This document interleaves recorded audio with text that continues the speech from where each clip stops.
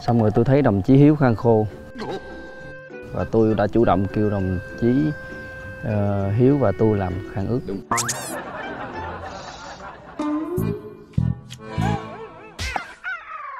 Nghiêm! Trung đội tổ chức kiểm tra lý tiết tác phong.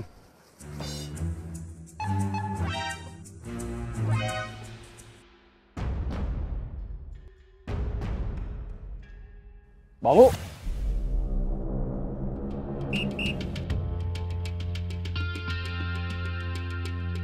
Đội mũ. Được.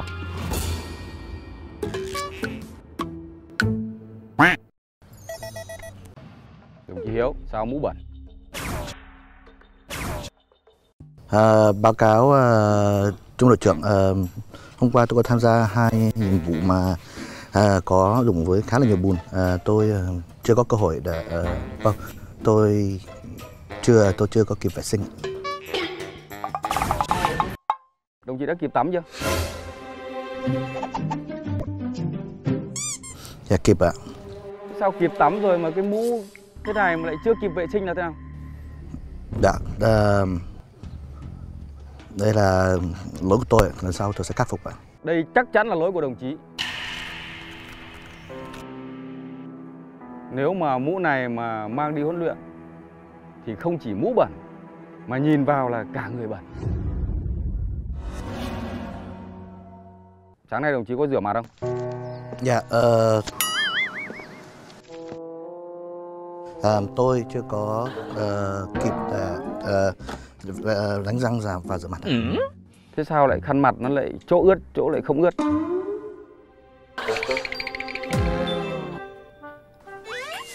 Đồng chí Phến muốn nói gì, có ý kiến gì? báo cáo đồng chí ờ, sáng nay thì tôi có đánh mặt ở đánh mặt đánh mặt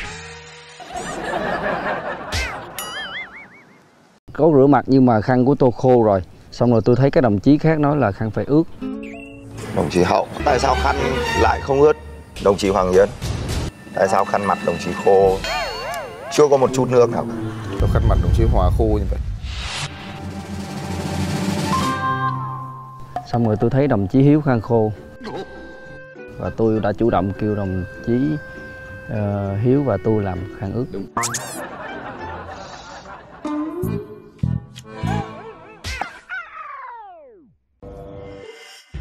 Cái này là cái suy nghĩ không tốt, có một chút biểu hiện của cái sự lừa dối.